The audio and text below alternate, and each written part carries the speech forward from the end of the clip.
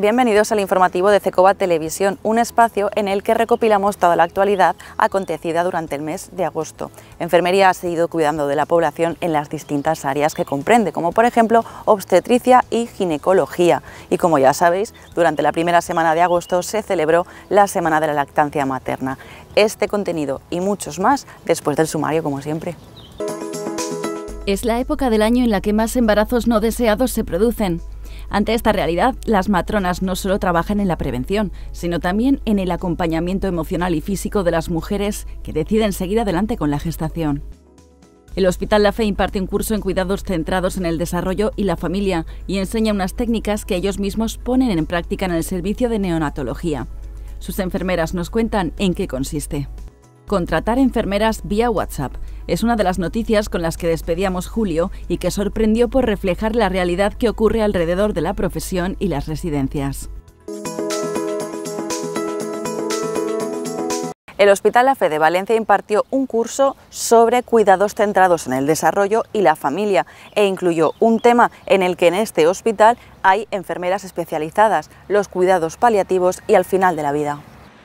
El Hospital Universitario La Fe de Valencia acaba de impartir el curso de cuidados centrados en el desarrollo y la familia que tuvo que dejar en pausa por la pandemia. Surgió por una formación en este tema y con la necesidad de compartir los conocimientos con el resto de profesionales sanitarios del área. Vinieron enfermeras de CAES de neonatos y de la UCI neonatal, luego las residentes de enfermería pediátrica que están en segundo rotando en nuestras unidades y dos estudiantes de enfermería. Y los, y los temas pues, muy variados, desde los cuidados centrados en el desarrollo, el neurodesarrollo, la bioética, el tratamiento del dolor no farmacológico. Un tema muy importante que incluyó el curso fueron los cuidados paliativos y el final de la vida. Esta formación tiene la intención de mejorar unos cuidados en los que participan profesionales experimentados de un ámbito en el que se tienen en cuenta muchos factores para ofrecer un tratamiento no farmacológico del dolor. Incluye la lactancia materna, el control del ruido, de la luz.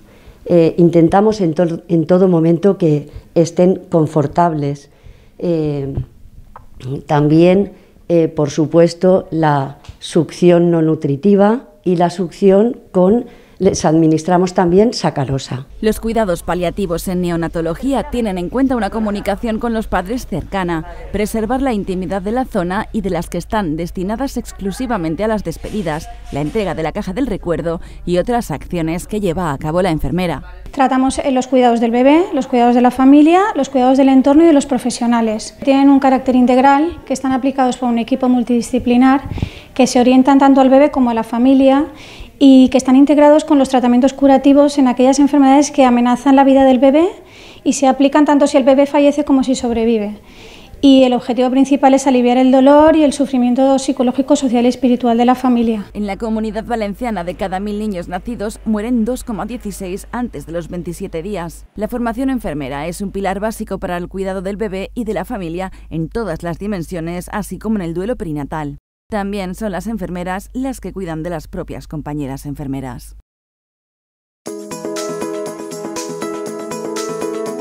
La llegada de las vacaciones y el aumento de la vida social hacen que el verano sea la época del año en la que mayor índice de embarazos no deseados se producen.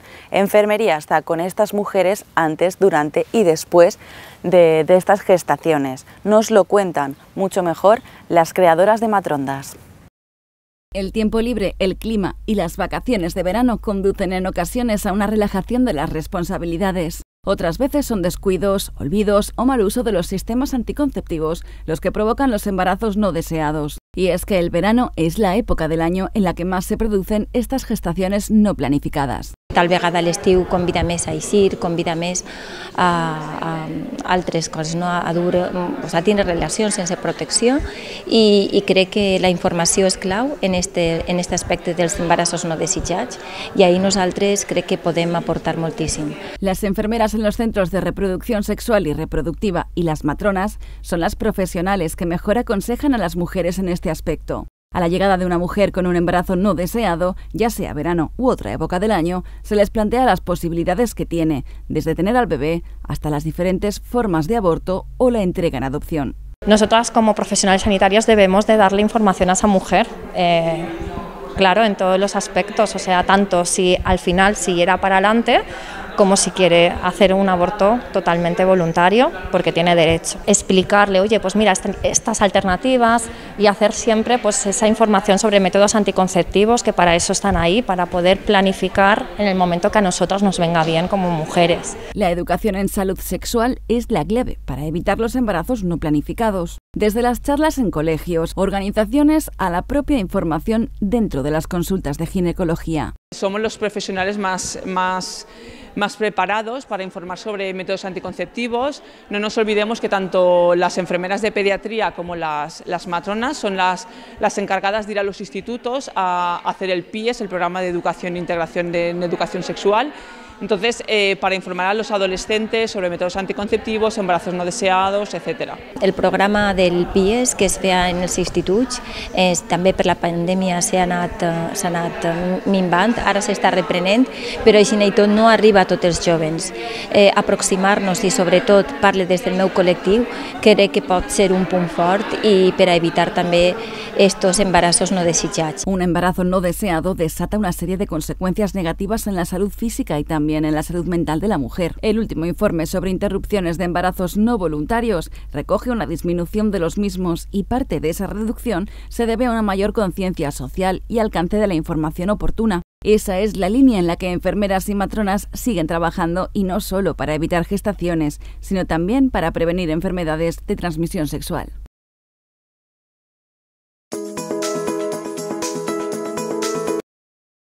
El 25% de la población adulta en España sufre algún tipo de enfermedad reumática. Esto no solo dificulta su rutina diaria, sino que además pone el foco de atención a toda actividad fuera de lo que viene siendo lo habitual, es decir, un viaje en verano, por ejemplo.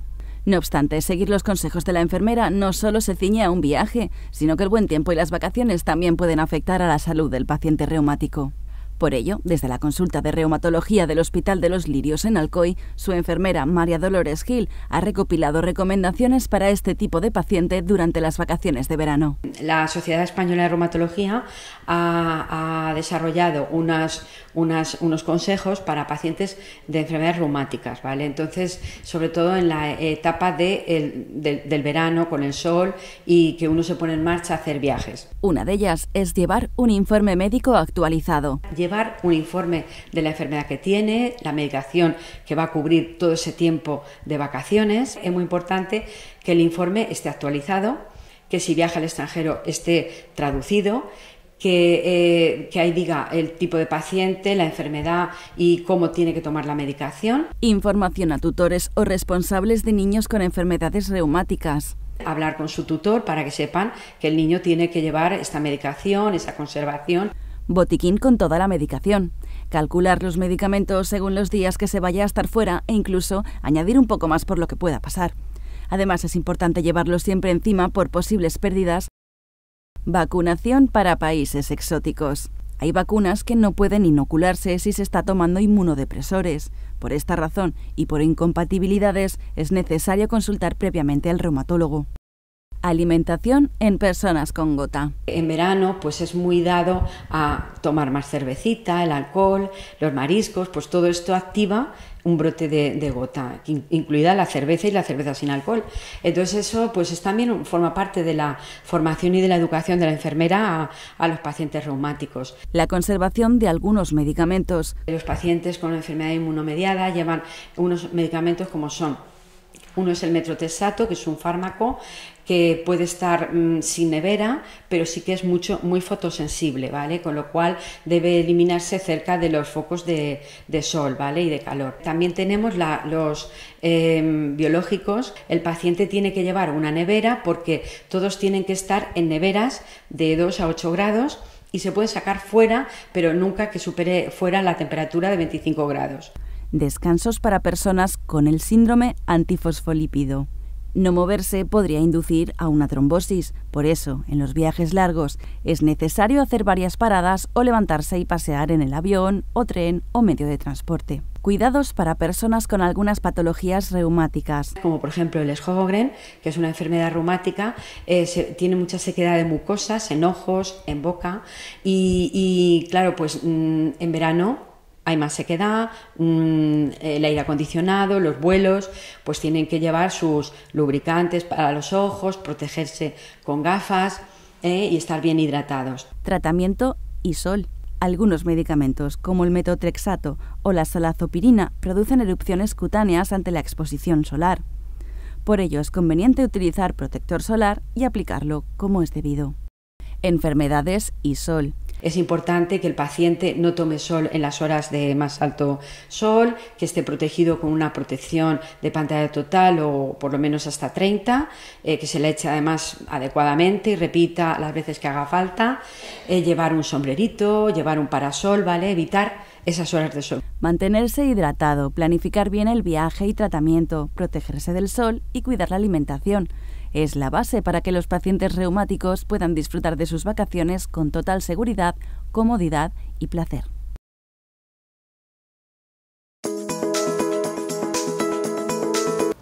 Suelen ser mujeres que desean compartir con sus parejas la tarea de amamantar a sus bebés. Se trata de la lactancia inducida y este es el tema que hemos elegido este año para celebrar la Semana de la Lactancia Materna. Se produce en tres escenarios en los que la mujer recurre a la lactancia inducida. Uno es la adopción, otro es la participación de parejas de mujeres en la alimentación del bebé y la otra en la gestación subrogada, aunque esta última es ilegal en España. Pero, ¿qué es la inducción a la lactancia?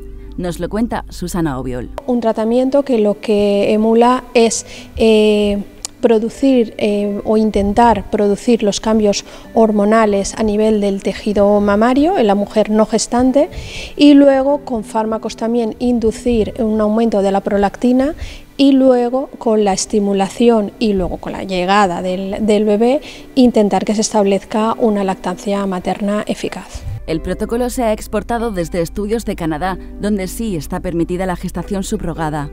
El tratamiento comienza seis meses antes de la llegada del bebé. Se comienza con un tratamiento anticonceptivo que lo que hace es preparar el tejido mamario sin eh, descansos, o sea, las mujeres toman todos los días ese tratamiento anticonceptivo que simula la menorrea y que aumenta el crecimiento de las glándulas mamarias y de todas las estructuras que van a tener un, un papel muy importante en la formación de la leche y llevan etinilestradiol y luego llevan drosperona. Para estimular y aumentar los niveles de prolactina, toman prolactina todos los días y luego la prolactina empiezan con 10 miligramos y luego continúan con 20 miligramos. Todo eso seis meses.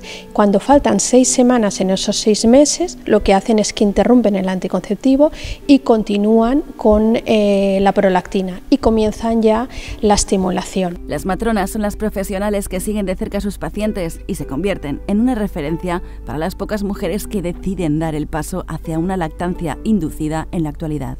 Van a ser las profesionales que están a cargo de los cuidados de las mujeres y de sus familias. Eh, luego son las educadoras en lactancia materna en el momento de la, durante la gestación a través de los talleres de crianza y son los que tienen un contacto más estrecho, además más fácil. O sea, la matrona es el profesional más accesible para las gestantes para poder plantear estos deseos y para poder ser asesoradas. El objetivo de la Semana de la Lactancia Materna es fomentarla y ayudar en el desarrollo óptimo de los bebés. Este año se centra en la pandemia y las consecuencias que ha traído en este campo, como el descenso en el número de madres lactantes pero no es el único escollo que ha de superarse. El que haya una semana de la lactancia materna es fenomenal porque todo lo que en algún momento dado eleve la voz hacia lo importante que es que las, que las madres lacten a sus hijos como una medida de salud pública universal, o sea, ya no es eh, cuando hablan es que la alternativa no, la lactancia materna es la alimentación del bebé, la alternativa es cuando fracasa la lactancia materna que puedas tener opción de alimentarlo con sucedáneos. Y, cambiar ese chip está costando muchísimo, está costando muchísimo pues porque no hay políticas de conciliación que favorezcan la lactancia, luego eh, hemos tenido una mella en el acceso a la educación y a la promoción y a la asistencia en problemas relacionados con la lactancia materna. y luego también desde, desde los órganos políticos, sanitarios, pues yo personalmente creo que no se le da la importancia que merece, porque dar lactancia es dar salud a tu hijo.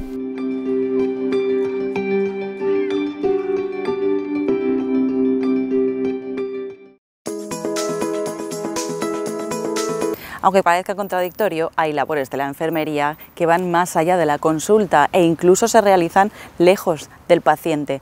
En este caso estamos hablando en concreto de la farmacia del hospital y estas son las características de este puesto. Cuidan al paciente en la sombra, no les vemos, pero atienden a la población desde la distancia y con la misma sensibilidad que en cualquier otro servicio.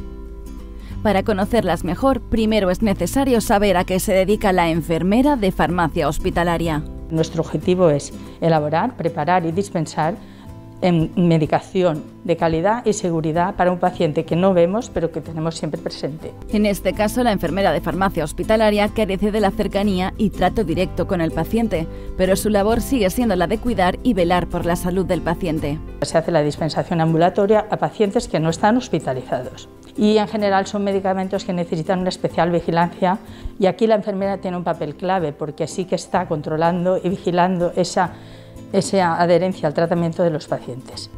Pero si hay un área dentro de este departamento en el que la enfermera sí que tiene contacto directo con él, es en la unidad farmacéutica de pacientes externos. Ya está la farmacotecnia, que se elaboran fórmulas magistrales, tanto estériles como no estériles. Las fórmulas magistrales estériles se realizan en cabina de flujo laminar.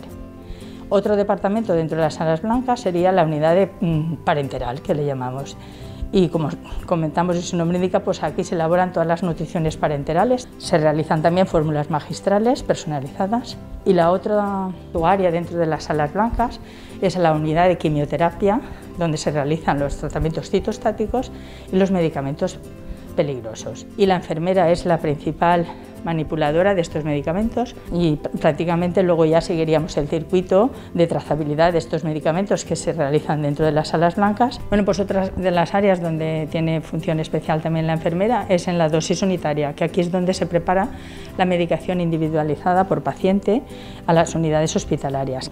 Y otra de las características de la enfermera en, la unidad de dosis unitaria es ese control y vigilancia de medicaciones especiales como pueden ser medicamentos antibióticos restringidos, medicamentos extranjeros de alto coste, hemoderivados, control, vigilancia y custodia de los estupefacientes y también la revisión y control de la dispensación de maletines de parada y emergencia que están por todo el hospital y departamento del área. La labor de la enfermera en este ámbito es desconocida por la sociedad, pero también incluso entre las propias enfermeras.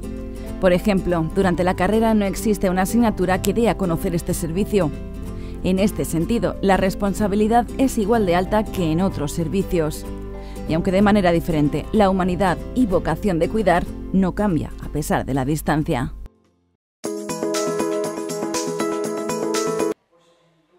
La Asociación Acera nació en pandemia con la intención de dar visibilidad a las enfermedades reumatológicas ante el desconocimiento general que ella, una enfermera, observó durante sus 30 años de profesión. Acera nace en 2020, pero la enfermera, María Dolores Gil, que impulsó su creación, ya llevaba trabajando en ello desde hacía cinco años. Mi idea es motivarlos a que sigan, sean, visibles. Eh, como enfermera, pues yo me ofrezco a hacer actividades de talleres, de formativos y también de, bueno, pues desde higiene postural a técnicas de relajación y sobre todo también a ayudar mucho en, en hacer grupos de ayuda mutua para todo aquel paciente que acuda a la asociación. La asociación, a ver, acaba de empezar y estamos, después de la, de la pandemia, pues estamos dando nuestros primeros pasos, ¿no? Entonces, si hay pacientes que vienen aquí, hacemos talleres de, de, los de Lola con de enfermería y luego pues hacemos otras actividades fuera de aquí. La asociación realizaba su actividad de forma online, ya que no tenían un espacio físico en el que poder reunirse. Fue la Consejería de Salud de Alcoy la que les cedió unas instalaciones que inauguraron hace apenas un mes. El objetivo principal es dar visibilidad a esta enfermedad, porque claro, tú me ves a mí y aparentemente estoy como una rosa, no, no tengo nada. Y claro, detrás de mí hay una enfermedad que me limita muchísimo, me limita al vestirme, al asearme, al hacer las cosas de la casa, me limita muchísimo a hacer una vida prácticamente normal. Entonces la gente esto lo desconoce, la gente de, de a pie lo desconoce. Entonces nuestro objetivo es dar visibilidad a este tipo de enfermedades. El objetivo no solo es dar a conocer a la sociedad las enfermedades consideradas inmunomediadas, sino también ser un punto de encuentro entre todos los pacientes que las sufren, así como un punto de información y de ayuda multidisciplinar con la que conseguir mantener una calidad de vida óptima. No había una puerta donde llamar. Yo, por ejemplo, cuando me diagnosticaron la poliomielitis, yo quería conocer a alguien que tuviese el mismo problema que tenía yo, la misma enfermedad que tenía yo. ¿Para qué? Pues para para, que, para ver cómo era su día a día, cómo iba a evolucionar mi enfermedad, cómo, cómo, cómo era esto, ¿no? que yo no, no, lo había escuchado en mi vida. Pues por una parte el encontrar eh, nuevos amigos con las mismas, los mismos síntomas o inquietudes, el encontrar también pues, un punto de referencia, el colaborar con los otros y un poco pues intentar buscar eh, nuevas actividades e incluso pues, ver cómo podemos mejorar nuestra relación tanto con los médicos como con nosotros, los pacientes. Me gusta mucho la coordinación que tienen entre todos ellos y lo que nos están motivando. Me ha gustado, me está gustando mucho. En este equipo multidisciplinar, enfermería tiene un papel determinante y es un punto de apoyo para muchos pacientes en el sentido físico y mental e incluso administrativo. Hombre, yo como enfermera lo primero es acoger al paciente, informarle, estar ahí y ser una más. Tampoco eh, yo creo que verdaderamente son ellos los que tienen mm, más protagonismo, pero yo estoy como un poco detrás, pero con ellos codo con codo. Es fundamental. La ayuda de la enfermería es fundamental, es, es tu punto de apoyo, es mm, cualquier duda, cualquier todo la enfermería es, para nosotros es primordial, los consejos que, que te dan es, es, lo, que, lo que te tira para adelante. Te da desde consejos en cuanto a la alimentación, en cuanto al bienestar físico-psicológico, también, no sé, pues un apoyo en cuanto al tratamiento, porque parece que eh, la enfermera pues es una persona más cercana o incluso pues que te, te va a lo mejor indicando eh, qué le puedes solicitar al médico o qué otras cosas te puedes encontrar.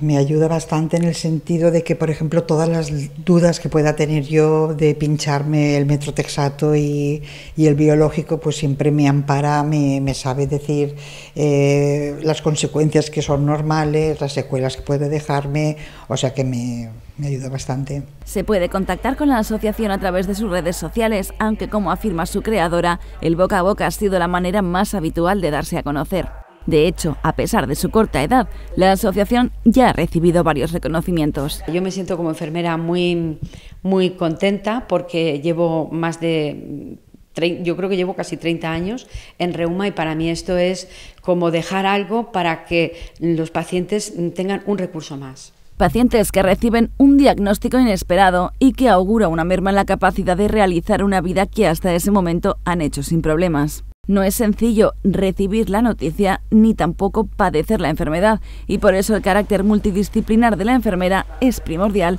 en el apoyo moral de estos pacientes.